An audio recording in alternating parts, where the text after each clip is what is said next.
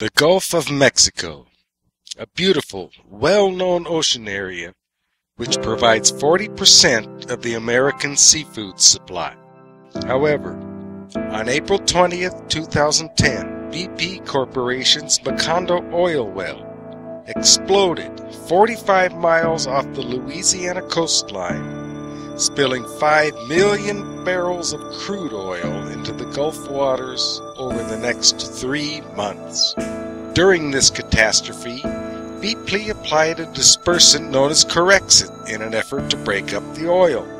Instead, some of the oil sank to the bottom of the Gulf, wiping out bottom dwelling sea life while the remaining oil was spread far and wide across the Gulf, making the accident even worse. Despite spending billions of dollars to mitigate the damage, results have been unsuccessful. Of the many companies attempting to clean oil contaminated water, SMOC Inc. of Japan and its Kria ionization technology has emerged as the leader in treating spilled heavy oil in a plurality of accident sites in Japan. The Kria system does not use chemicals, but rather a technology which decomposes the spilled crude electronically. This effect can be likened to the purification of contaminated seawater as performed by activated bacteria. The Kria system passes seawater through a negative ion generator. Extremely tiny microbubbles are generated and injected into the seawater. Propagating microbubbles reach more than 100 meters from the system, while diffused microbubbles enhance dissolved oxygen levels to a distance of 400 meters. These diffused microbubbles have a long life and are very effective at increasing dissolved oxygen concentration in the water. Due to this effect, floating contaminants begin to condense and will be decomposed by activated bacteria living at the surface of the microbubbles. In this manner, the Kria system purifies seawater. Specific features of the Kria system are small placement area requirements. The system eradicates algae and sludge, and since no chemicals are used, no secondary pollution is produced. No special placement conditions are required. It should also be emphasized that purification of the seawater bottom or floor is accomplished as well.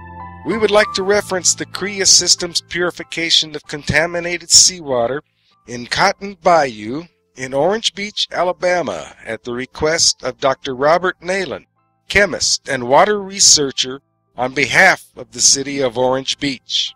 A view of the beach, colored brown due to oil contamination before the introduction of the Kria system. A view of tar balls formed by the condensation of spilled crude oil. Dr. Nalen, chemist and water quality researcher, sampling contaminated water.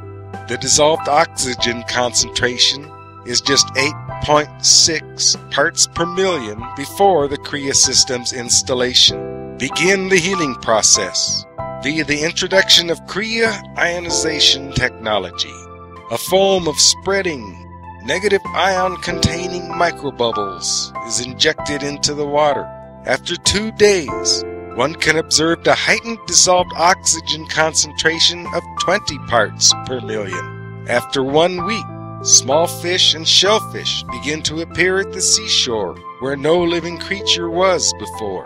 Dissolved oxygen levels of approximately 20 parts per million have reached 400 meters from the Kria installation site.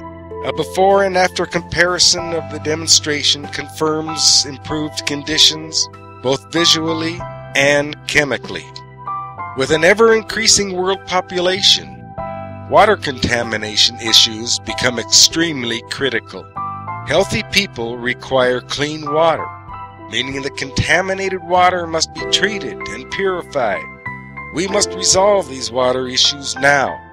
We strongly believe that the Kria system is an ideal approach in addressing contaminated water.